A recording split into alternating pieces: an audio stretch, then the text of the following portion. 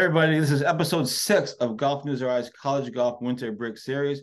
That's about six more episodes than I thought we were going to have, but I'm excited. It's been fun to talk to so many people, and you can catch all the previous conversations on golfnewsri.com. A lot of good stuff, lots of great insight. And obviously, it's great to catch up with Islanders playing near and far, and that's what we do in this episode as we welcome uh, one of the greatest Columbia women's golfers ever, and she's now taking on the Indiana record books, and that's Alexis Florio. Alexis, thanks so much for taking some time to uh, come on this podcast series. Thank you, Joe. I'm excited to be here. So you're at Indiana right now. You just finished your first first semester as Indiana, Indiana as a grad student. Uh, what is that like? What is being at a big school like Indiana like? Uh, off the off the air, we were just talking about being at the basketball games and how it's much different than being at a Columbia basketball game or anything like that. But what what is just that first semester that process been like for you? Um, it's been great. I would say one of the main reasons I wanted to go out to Indiana and play for their golf team was to experience like life in the Midwest and mm-hmm. what the culture is like at a Big Ten sports school. Um, and it's been everything I thought it would be so far. Um, the buy-in from the athletics department and the community and the fans has been great. Um, I've enjoyed like going to the the football games, the basketball games, like experiencing that camaraderie um, amongst everybody involved with IU, past and present. So um, that's been great. Bloomington's a real college town, so I checked that off of my list of things I wanted to experience compared to um, my undergrad experience right in New York City. So, um, and also just the golf team has been awesome. We have two new head coaches, or sorry, one head coach who's new, and then our assistant coach is new.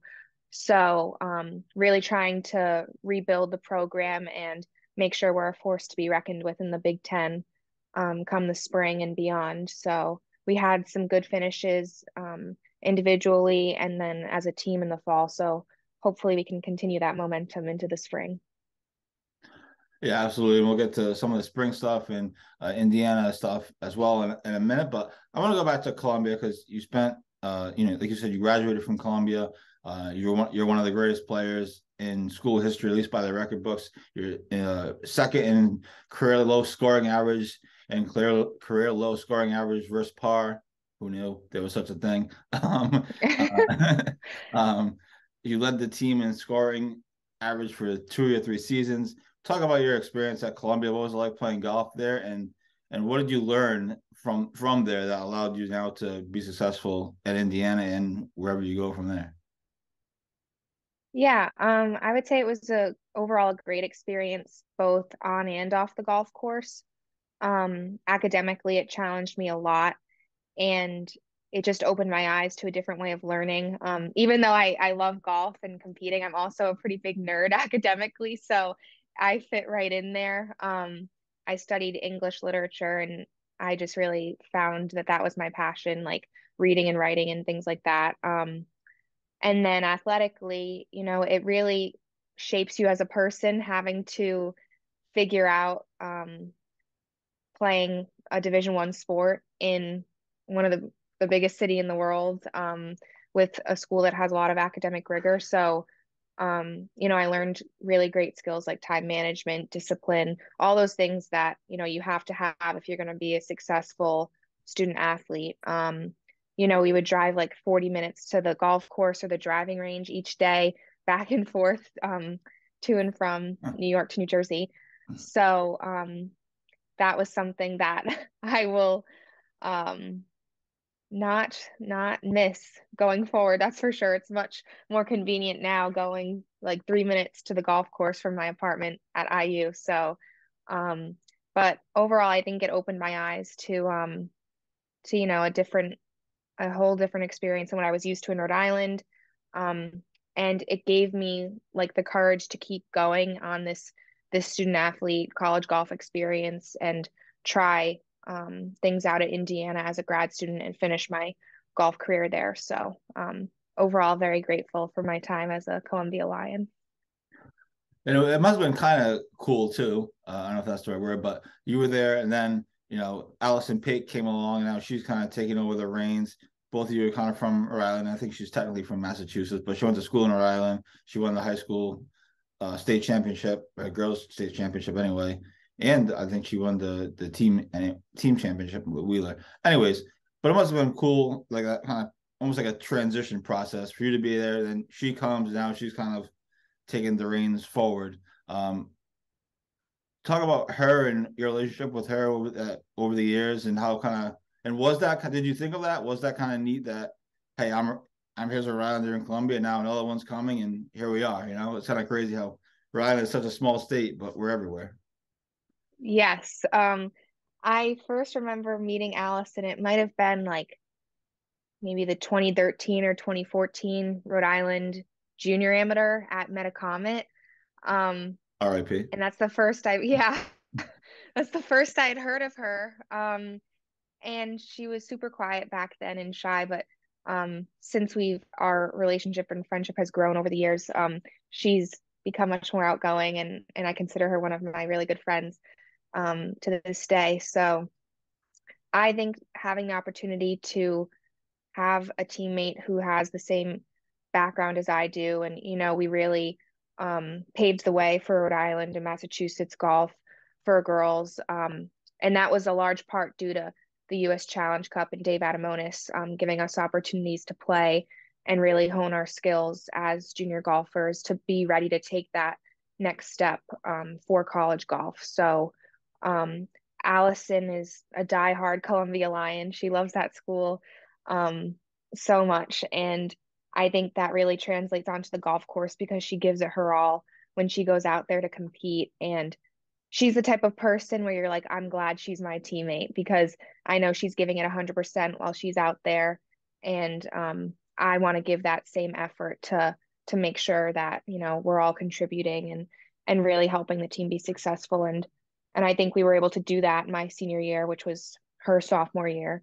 Um, and I trust that you know she's going to keep doing great things for the rest of her time there. She's team captain now, so um, that's been great. And we also had another um, friend of mine from Massachusetts, Ann Walsh, who came mm-hmm. up through Challenge Cup with us. Um, she's there as well. So I think it's important that New England um, girls golfers have a presence in Division One college golf, and and to be able to have such a strong unit at Columbia um, definitely helped us finish second in the Ivy League um, last year at the championship, and and I think they have a great shot to win it this coming year. Absolutely, we're following them closely as well. Allison was actually the first, one of the first people to ever do an interview with us when I first launched Golf News RI. She had just committed to Columbia, so whatever that was mm-hmm. 2020, whatever year that was, and I re- just randomly messaged her on Twitter and I said, "Would you come on like our pod?" We literally had just just started, like we weren't like now we're like somewhat big, like you know, pat myself mm-hmm. on. Um, but she was like one of the first people to ever like come on and like do an interview. So and she was very quiet back then. Um, so I'm sure I'm sure she's growing up now, which is great. Um, so you're a star of Columbia. Yeah. You, you graduate. You grad. You graduate there. Um, the I know you talked about why you wanted to go to Indiana, the Midwest, the college town. Uh, what was that process like, though? I mean, obviously, it must have been stressful in some ways. Uh, but what was that process like of from Columbia now to a big time sports school in Indiana? Take us through that kind of that process. And was it always Indiana? Was that always the the choice, or were there other options? Um, I would say when I had entered the transfer portal, I was looking for an experience that I hadn't had before. Um, so, for example, I was looking at some other schools in like the New England, like southeast area along the East Coast, but um, our tournament schedule at Columbia was going to be you know similar to those schools and i wanted to kind of branch out and and have exposure to different competition different locations um like different states i hadn't competed in before so that was a consideration um and everything kind of fell into place with indiana um academically athletically and i really felt like i had the the tools and resources to see how good i could get um, these remaining two years of eligibility I have to play college golf. So um, that really stood out to me. And from the day I stepped foot on campus in August, um,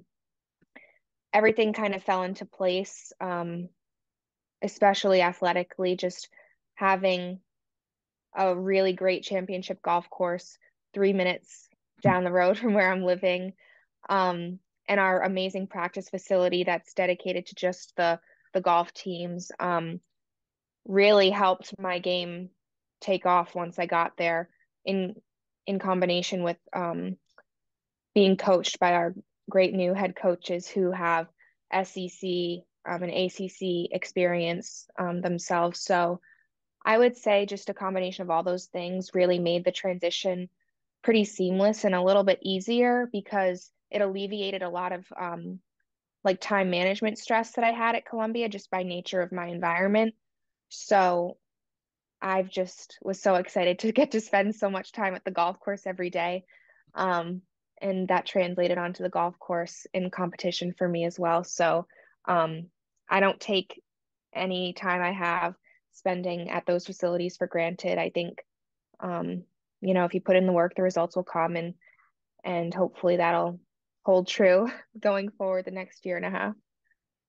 Absolutely. And you're up to obviously an amazing start. You named to the Big Ten watch list in September. And then obviously the big one is you shot a school record 64 at the Evie Odom Invitational. Uh, take me through that. Obviously, I'll never shoot any any number close to that. Um, but you're shooting that kind of number. One, did you know you were nearing a record, a school record? Excuse me. And two, what was that like going through that? Yes, so I didn't know I was shooting a school record. Um, I knew the golf course was extremely gettable.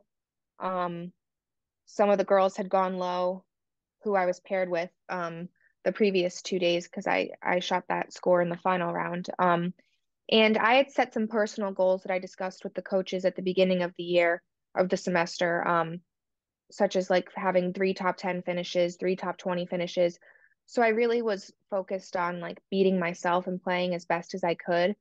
Um, and you know, once I was kind of in that wheelhouse of top 10, I was like, let me just try to get into the top five and and keep kind of breaking those barriers for myself. So um, you know, some sometimes you just step foot on a course and it really suits your eye and and you're in the zone and things just fall into place naturally and and that was kind of one of those rounds. So I just kind of let it go with the flow and and I remember distinctly my assistant coach Kendall had said to me, or to the whole team in one of our pep talks prior to that round, she said, You have to want to make birdie more than you fear making bogey.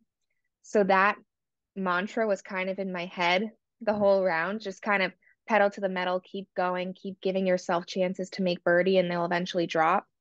So that's I want to write that one down part. my head. Write down, write that one down for myself. I'll try to yeah you know, that's what we work for. Yeah. Like not every round is going to be great, and most most of the times we walk away disappointed because golf is a sport where it's like, oh, I shot 70, but I could have shot 67 easily, mm-hmm. and we always replay those shots. So. Oh, yeah. To just have one of those moments where it fell into place was pretty nice and, and makes you just want to go back out there and, and work harder to get get that again at some point but golf always keeps you coming back. Like when you're having a bad round, which a bad round for you is a lot different than a bad round for me. You'll make like, you'll make birdie on the last hole, and then I want to keep you playing instead of you know what I mean. Like you always, there's always something that happens that keeps you coming back for more.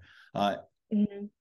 You're in Indiana, obviously. What has been, if there's been, what has been the biggest challenge for you, uh, whether it's golf wise or just in general, being at Indiana? Is it the courses are harder? Is it the competition? Like what what has been the challenge for you? Again, if any, I mean, obviously you're a great player, but what's been the challenge for you at Indiana? Um, I think on the athletic side, it's just realizing that if you want to make some noise and have an impact in the Big Ten, you you don't really have a choice but to to be in that like 74 below, like 74 is on the high end. Like it's just the expectation that the competition is getting better and better. And I think that holds true for all of women's college golf at this point. Like everybody's good. So you have to bring your A game every time. Like the mid 70s really isn't gonna gonna make any noise um in most tournaments. So you have to get comfortable going low and and I think that's something we practice a lot um on the team with our coaches is is putting ourselves in uncomfortable, challenging situations in practice so that in tournament mode we're used to it and we we know how to handle adversity or also embrace opportunity when that comes.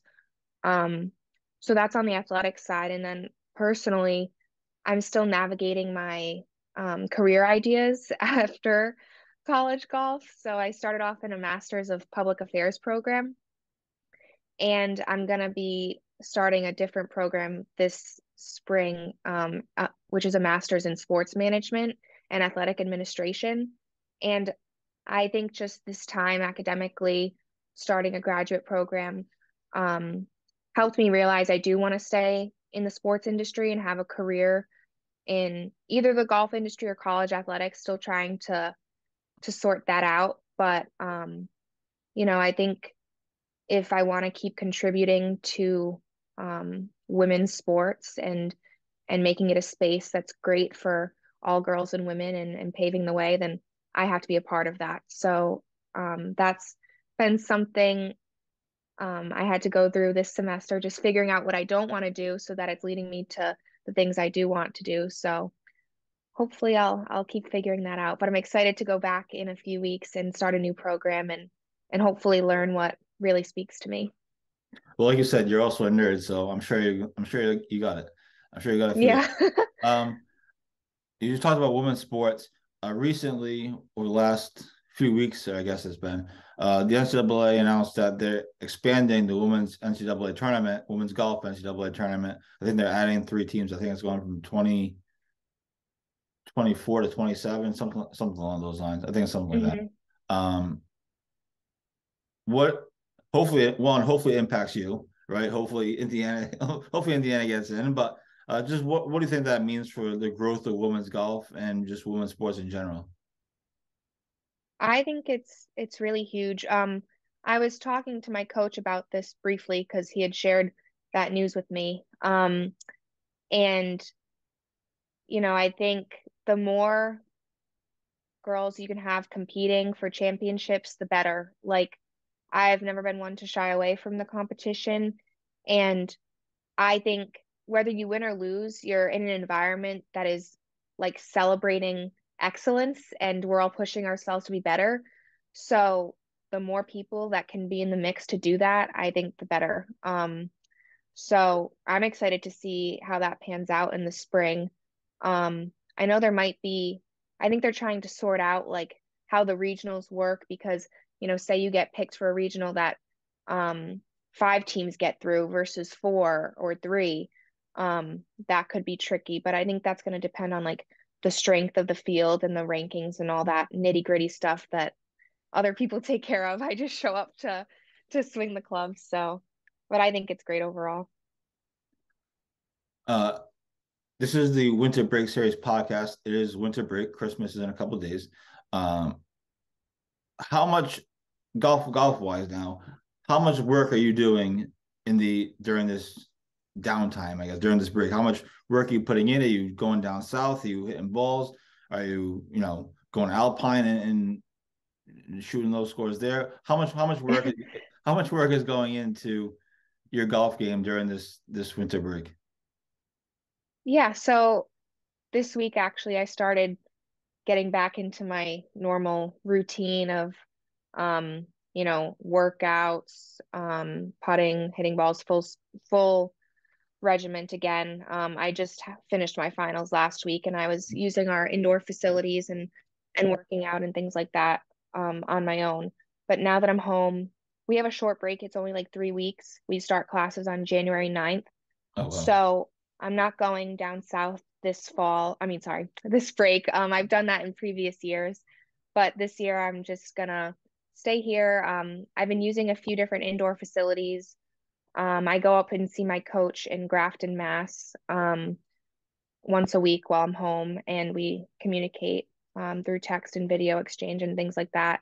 So definitely, you know, getting my swing ready to go. And I think this is also a time where you just kind of zone in on the fundamentals and non-negotiables, like your fitness routine. And I like to read um, like personal development development and sports psychology books so making sure my mind is sharp and ready to go to compete And then I also have, have like my little putting mat rolled out and I try to do 30 to 40 minutes of putting a day um, to keep that sharp as well. Because it's been cold here this week, even though it's been sunny. So the hands get cold if I'm outside. But um, I'd love to go out and walk like nine or 18 holes if, if it gets a little bit warmer soon. It's funny you say that. Uh, I had Andrew O'Leary on the previous episode. He's a senior at Notre Dame. He's got one semester left. And he did the interview from his car. So he had just finished hitting balls at Atlantic driving range. And oh, yeah. 30 degrees. I'm like, dude, like, what are you doing? Like, but yeah. that's what he does. He's like, I'm gonna go to Pawtucket now and try to walk, you know, nine holes there just to keep my game sharp because obviously he's similar situation to you. I think he said he is going down south uh, to play in a tournament in Florida in Florida next week. But either way, the point is he was on he was doing that same grind that he was out in the freezing cold pounding the mat at Atlantic driving range. So it's funny that you say that. And I think that's fascinating to me too, right? The grind of it, right? You gotta love the grind of golf because if you don't love it, then you're just gonna be miserable. Um yeah. Spring semester coming up. What are you looking forward to the most about the spring semester? Is there a tournament that you have circled? Is the, other than the NCAA's? I mean, that's a given. Um, but is there a mm-hmm. tournament you have circled? Is there something that looking forward to more so than than anything else?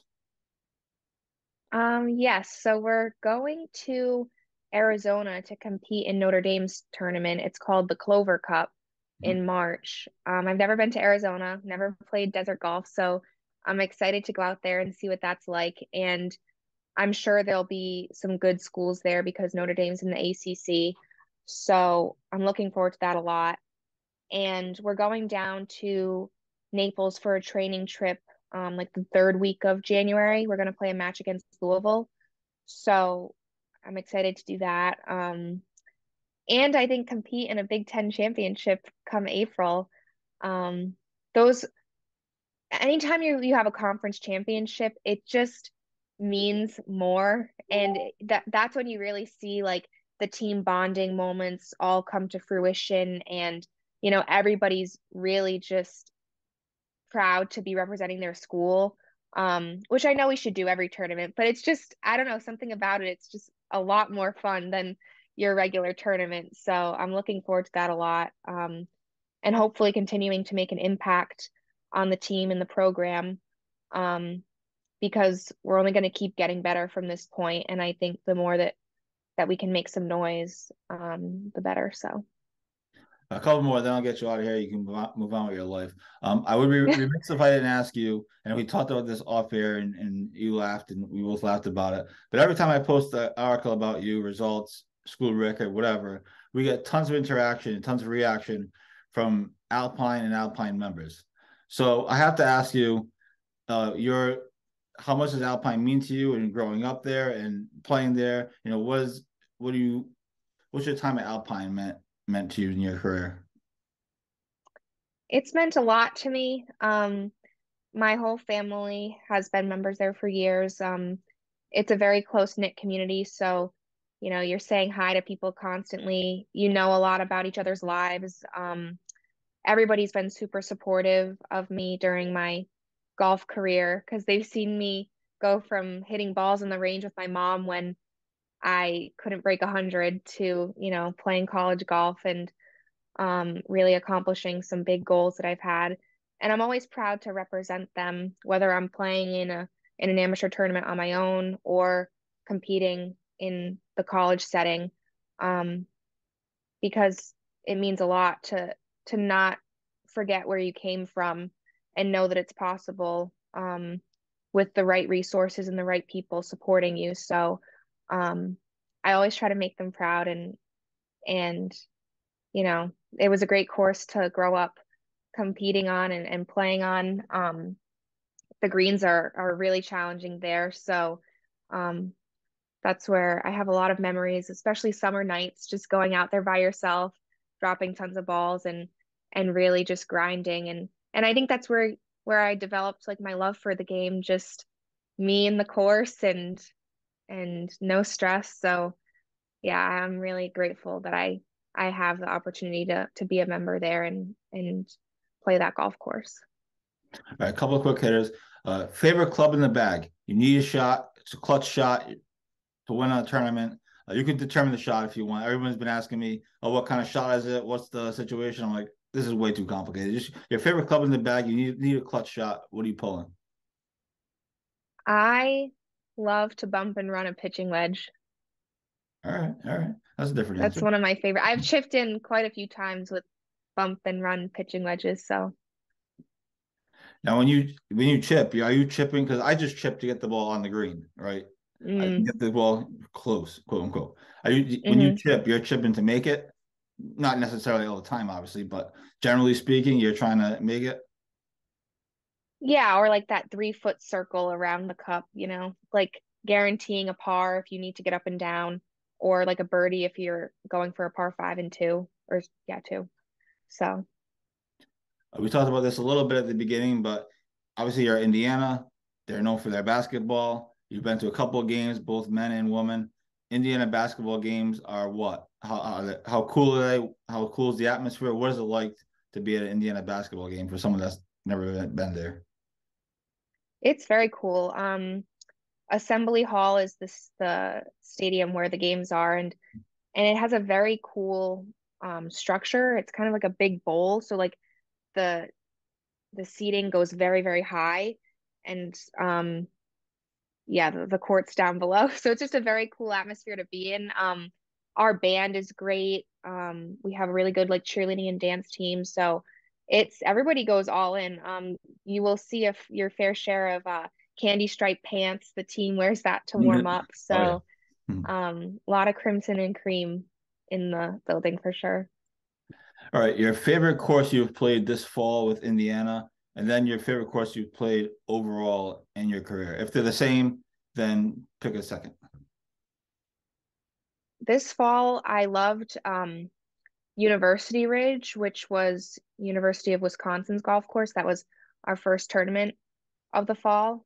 Um, a really great, challenging setup. Um, you could see a lot of the natural terrain of Wisconsin, it's just kind of the plains. Um, so that was cool for me because I've never been to Wisconsin. Um, and my favorite golf course ever. I was thinking about this the other day actually because I I'm quick to say like Torrey Pines or just one of the more famous ones, but I played a course out in uh, Park City, Utah, after I graduated from high school called Promontory, the Promontory Club.